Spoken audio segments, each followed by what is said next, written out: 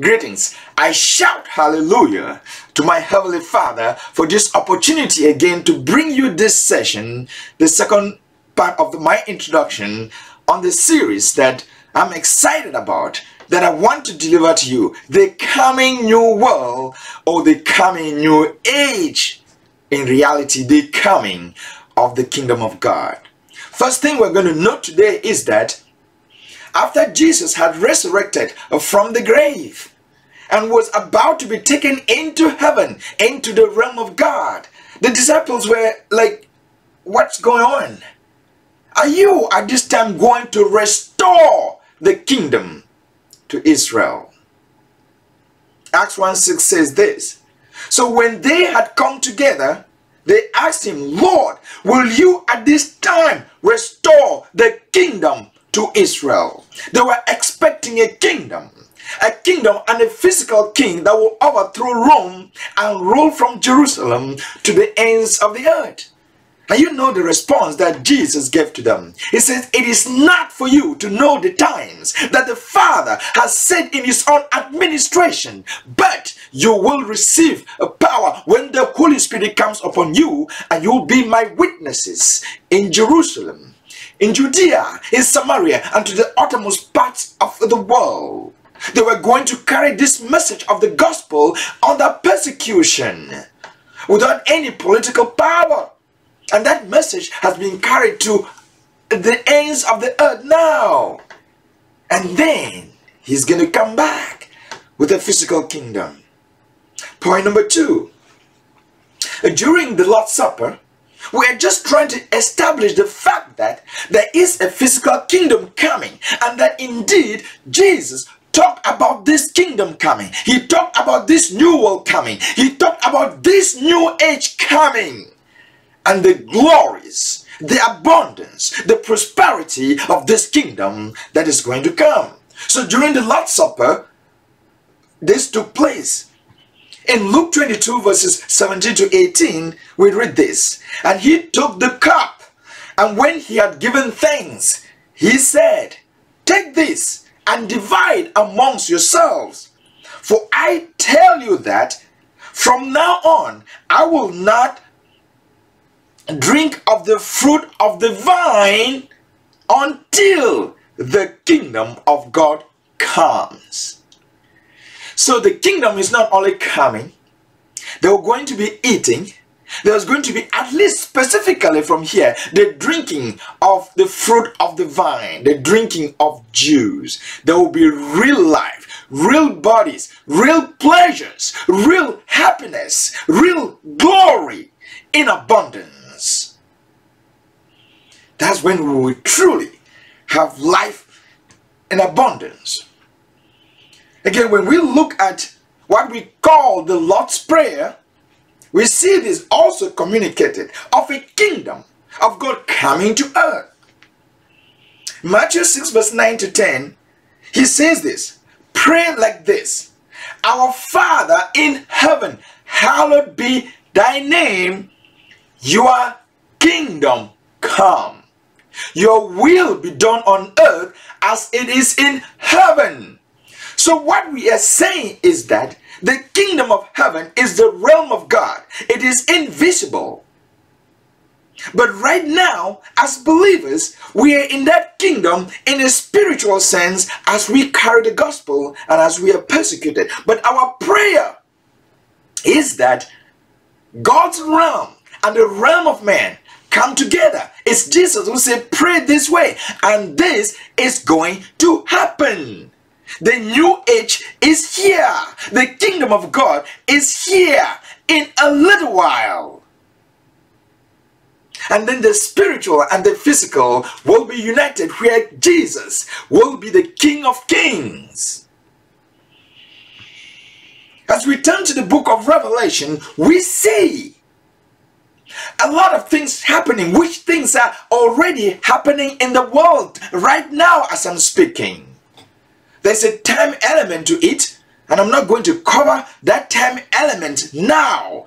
Why I am so expectant, why I'm so confident that the kingdom is about to break forth.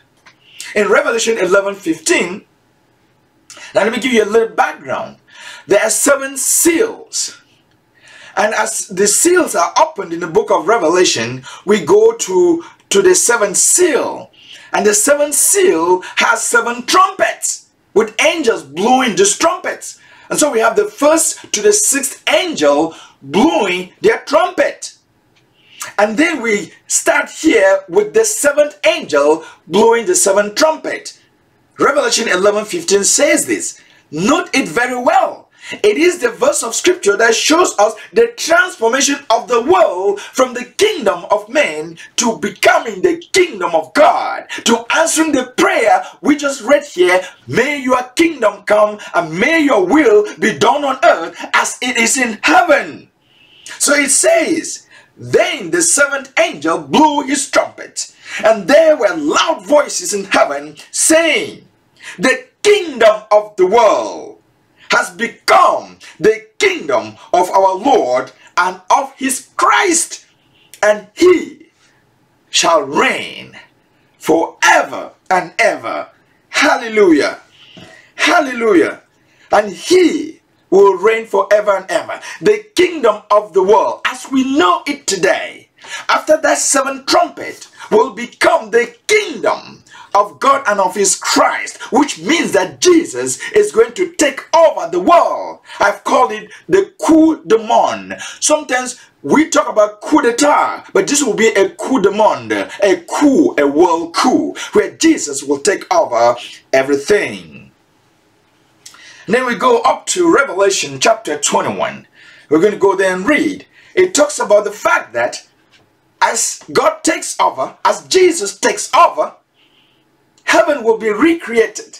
The earth will be recreated. Life as we know it now will change because we are stepping into the kingdom where only righteousness reigns, no wickedness. So Revelation 21, we read from 1 to 8. It says this, Then I saw a new heaven and a new earth, for the first heaven and the first earth had passed away and there was no longer any sea. I saw the holy city, the new Jerusalem, coming down out of heaven from God, prepared as a bride, beautifully dressed for her husband. And I heard a loud voice from the throne saying, a loud voice from the throne saying, Come on, listen to me, people. Now the dwelling of God is with men, and he will live with them. They will be his people, and God himself will be with them and be their God. Jesus had prayed, Blessed are the pure in heart, for they shall see God. You will see God. If you have a pure heart, if you have repented, if you are born again, and if you live in obedience to the word of God, you will see God. He will wipe away every tear from their eyes. There will be no more death or mourning or crying or pain. For the old order of things had passed away or has passed away. He who sit who is seated on the throne said, I am making everything new. Now, he said, I'm making everything new. Then he said, Write this down, for these words are trustworthy and are true. He said to me, It is done. I am Alpha, I'm the Alpha and Omega, the beginning and the end. To him who is thirsty, I will give to drink without cost from the spring of the water of life. He who overcomes, he who overcomes will inherit all this. People, just hang on and overcome. You will inherit all this. And I will be his God, and he will be my son.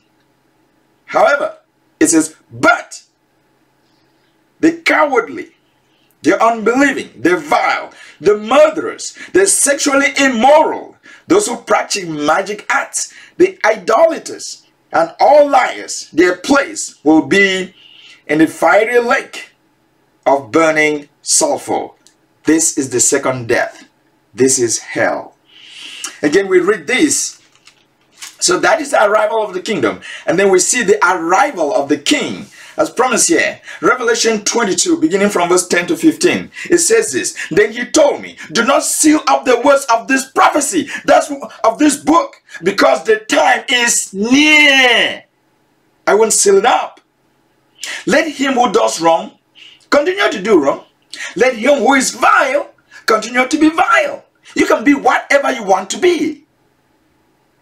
But let him who is uh, but let him who does right continue to do right and let him who is holy continue to holy. We are told in Hebrews 12 uh, verse 14 that without holiness, without holiness, no one will see God. Don't think you will live in your field, in your dirt, and then you think you will see God. No, no, no, no, no. Without holiness, no one will see God. So he says, if you're holy, continue to be holy. If you're doing what is right, continue to do what is right. And then verse 12, he says, Behold, behold, I am coming soon. My reward is with me, and I will give to everyone according to what he has done. I am the Alpha and the Omega. I am the first, I am the last, I'm the beginning, I am the end. Blessed. Blessed are those who wash their robes, that they may have the right to the tree of life, and that they may go through the gates into the city. Once more again, that's how you get into the city. But there's going to be people who are outside. Outside are the dogs, those who practice magic arts, the sexually immoral, the murderers, the idolaters, and everyone who loves and practices falsehood. I, Jesus, have sent my angel to give you this testimony for the churches.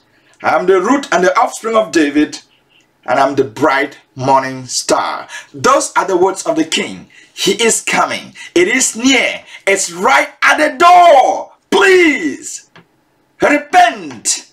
Be born again. Accept the message, and you will enjoy forever in the kingdom of God. Peace and blessings to you. Thank you.